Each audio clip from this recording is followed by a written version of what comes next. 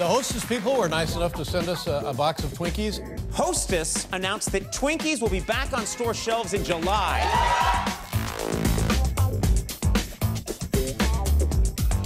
And on Monday, we will receive the very first delivery of Twinkies Nice from the only Twinkie mobile in America.